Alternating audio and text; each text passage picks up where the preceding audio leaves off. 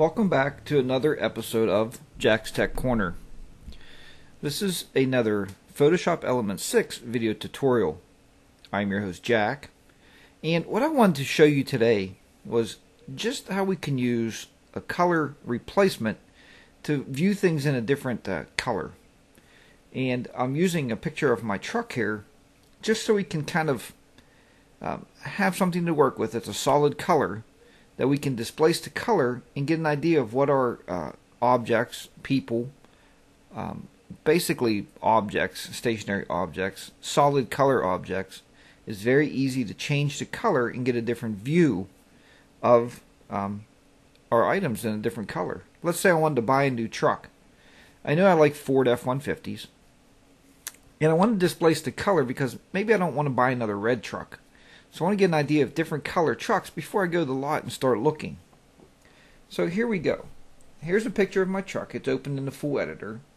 I made a backup copy. I made a duplicate copy of my background, which is the truck. Now what we're going to do is we're going to go to Enhance, Adjust Color, and we're going to replace the color. Then we get this little replacement color window right here. What we're going to do now is the eyedropper is selected. We're going to pick what we want to replace the color on. And as you can see here, it has a good bit of the truck. Now here's a trick that I want to show you to get the whole truck in basically the picture so we can start replacing the color just on the truck and not touch the background what you need to do is change where it says fuzziness. We're going to just pull this up until the whole truck is basically white, or as best we can get it without lighting up the background. So you don't want the background coming up.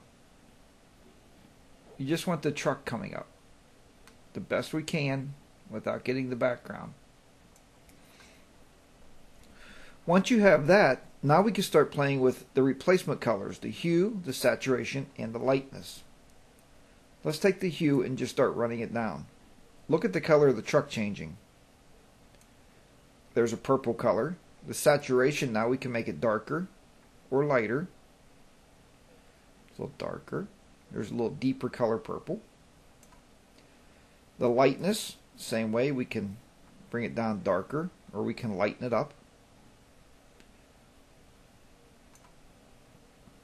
And you get an idea of different colors schemes for a truck to see what it would look like. I don't think I'd ever buy a purple truck. Now blue, like I said, turn the saturation up and down, and play with that a little bit. And then the lightness, you want to make it a little darker. It's almost like a teal color. Now if you want to play with other colors, just click on the result here and you have your color palette.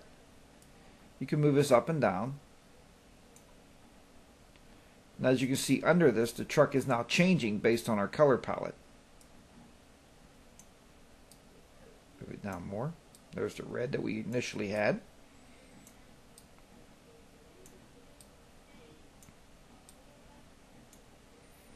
There's more of a deep blue color, which looks pretty good for a truck. It's more purple. Here's a pink for the women out there that may want to have a pink truck. There's even a little bit more pink right there. Then once again, you can play with your hue and saturation and make your colors a little bit different. A little bit yellow. There's a green truck.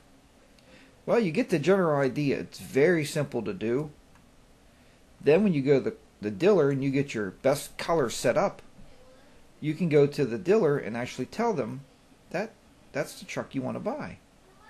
You know, Ford F-150s, the body styles are the body styles. So all you're doing is playing with the color and you're trying to find the best color that's going to make you really happy. Well, that's a really short tutorial on changing color and that's how the replacement color works. And you could do that replacement color basically on, like I said, any solid color it really, really works well on. Once again, I'm your host Jack. Thanks to everybody for watching the video tutorials.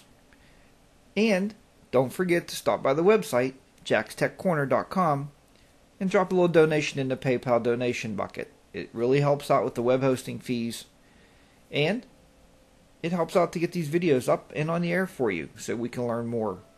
And I'm still waiting to try to get a hold of the Adobe Photoshop Elements 7 um, so I can start playing around with it. I kind of wait for the trial version to come out before I actually buy it. Um, just to start playing around with it, learning the enhancements, and then I'll purchase it and we'll move on.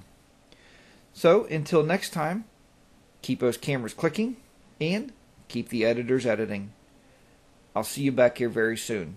Bye for now.